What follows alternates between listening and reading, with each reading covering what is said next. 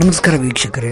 ಎರಡು ಸಾವಿರದ ಇಪ್ಪತ್ತು, ಕಳೆದರೂ ಎರಡು ಸಾವಿರದ ಇಪ್ಪತ್ತೊಂದರಲ್ಲೂ ಕೂಡ ಸಾಲು ಸಾಲಾಗಿ ಮತ್ತೆ ನಟರು, ನಟಿಯರು ತೀರಿ ಹೋಗ್ತಿದ್ದಾರೆ. ಹೌದು ಸ್ನೇಹಿತರೆ, ಹಾಗಾದರೆ ಈಗ ಮತ್ತೊಬ್ಬ ಖ್ಯಾತ ಗಾಯಕಿ ಬೆಳ್ಳಂ ಬೆಳಗ್ಗೆ ತೀರಿ ಹೋಗಿದ್ದಾರೆ. ಹಾಗಾದರೆ ಆ ಖ್ಯಾತ ಗಾಯಕಿ ಆದರೂ ಯಾರು ಕನ್ನಡದಲ್ಲಿ?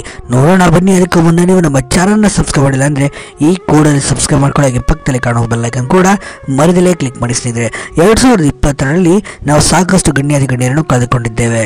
ಅದರಲ್ಲೂ ಸಾಕಷ್ಟು ನಟರು, ನಟಿಯರು, ಗಾಯಕರು, ಗಾಯಕಿಯರು ಹೀಗೆ ಸಾಕಷ್ಟು ಜನ ಹೋದರು. ಅದರಲ್ಲಿ ಎರಡು ಸಾವಿರದ ಇಪ್ಪತ್ತೊಂದರಲ್ಲಾದರೂ ಸರಿಯಾಗುತ್ತೆ ಅನ್ನೋದರಲ್ಲಿ ಈಗ ಎರಡು ಸಾವಿರದ ಇಪ್ಪತ್ತೊಂದರಲ್ಲಿ ಈಗ ಮತ್ತೆ ಮೊನ್ನೆ ತಾನೇ ಜೈಶ್ರೀ ಅವರು ನೇಣು ಬಗೆದುಕೊಂಡು ಆತ್ಮಹತ್ಯೆಯನ್ನು ಕೂಡ ಮಾಡಿಕೊಂಡಿದ್ದರು. ಹೌದು, ಜೀವನದಲ್ಲಿ ಜಿಗುಪ್ಸೆ ಬಂದು ಹಾಗೂ ನನಗೆ ವೈಯಕ್ತಿಕ ಸಮಸ್ಯೆಗಳಿಂದ ನಾನು ಆತ್ಮಹತ್ಯೆ ಮಾಡಿಕೊಂಡಿದ್ದೇನೆ ಅಂತ ಕೂಡ ಡೆತ್ ನೋಟನ್ನು ಬರೆದಿಟ್ಟು ಸದ್ಯ ಒಂದು ಆಶ್ರಮದಲ್ಲಿ ಆತ್ಮಹತ್ಯೆಯನ್ನು ಮಾಡಿಕೊಂಡಿದ್ದರು ಜಯಶ್ರೀ ಅವರು ಈಗ ಜಯಶ್ರೀ ಅವರ ಬೆನ್ನಲ್ಲಿ ಈಗ ಮತ್ತೊಬ್ಬ ಖ್ಯಾತ ಗಾಯಕಿಯೊಬ್ಬರು ಆತ್ಮಹತ್ಯೆಯನ್ನು ಮಾಡಿಕೊಂಡಿದ್ದಾರೆ ಸ್ನೇಹಿತರೆ. ಹೌದು. ಹಾಗಾದರೆ ಯಾರಿಗೆ ಖ್ಯಾತ ಗಾಯಕಿ ನೋಡೋಣ? ಬನ್ನಿ. ಅದಕ್ಕೂ ಮುನ್ನ ನೀವು ಕೂಡ ಎರಡು ಸಾವಿರದ ಇಪ್ಪತ್ತೊಂದರಲ್ಲೂ ಕೂಡ ಈ ನಮಗೆ ತುಂಬಾ ನೋವು ಆಗ್ತದೆ ಎಂಬುದಾದರೆ ಖಂಡಿತ ಈ ವಿಡಿಯೋಗೊಂದು ಲೈಕ್ ಕೊಡಿ ಸ್ನೇಹಿತರೆ.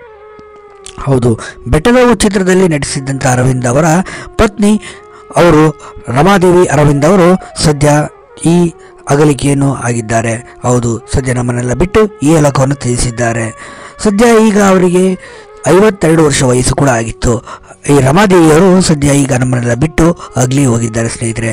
ಹೌದು, ಸದ್ಯ ಬೆಟ್ಟದ ಚಿತ್ರದಲ್ಲಿ ಅರವಿಂದ್ ಅವರ ಪಾತ್ರಕ್ಕೆ ಸಾಕಷ್ಟು ಮೆಚ್ಚುಗೆ ಕೂಡ ವ್ಯ- ವ್ಯಕ್ತವಾಗಿತ್ತು. ಪುನೀತ್ ರಾಜ್ಕುಮಾರ್ ಅವರಿಗೆ ಸಪೋರ್ಟಿಂಗ್ ಕ್ಯಾರೆಕ್ಟರ್ ಆಗಿ ಮಾಡಿದ್ದರು. ಈ ಚಿತ್ರದಲ್ಲಿ ಅವರಿಗೂ ಕೂಡ ಸಾಕಷ್ಟು ಹೆಸರನ್ನು ತಂದುಕೊಟ್ಟಿತ್ತು.